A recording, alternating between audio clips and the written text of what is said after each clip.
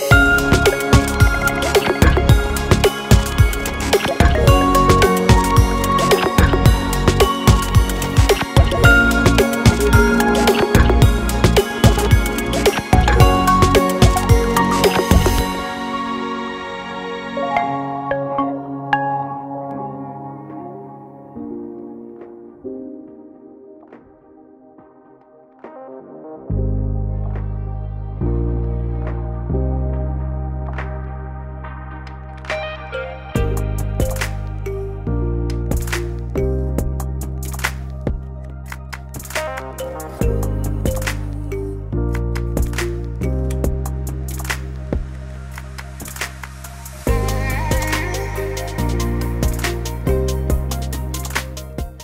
Para esta experiência precisamos de folhas de polipódio, microscópio óptico, lupa binocular, agulha de dissecação, lâminas, lamelas, vaso com solo, placa de Petri e papel filtro.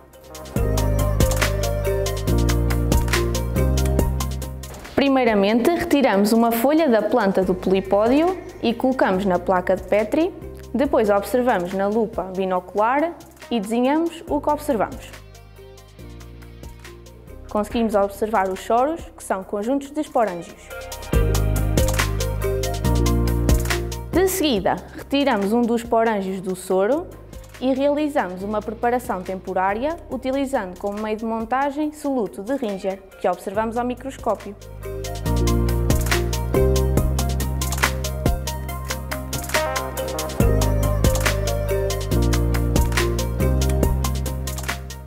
Colocamos os vasos num tabuleiro com água e tapamos-los com uma campana de vidro, de modo a obter as condições favoráveis à germinação dos esporos.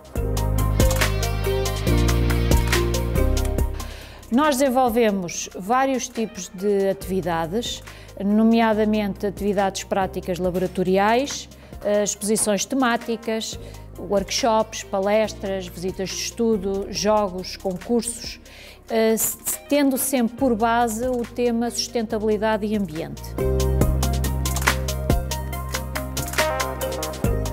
Eu gosto de ciências porque é uma coisa concreta e fazer as atividades experimentais só nos vai provar aquilo que nós já sabemos, então é por isso que eu gosto.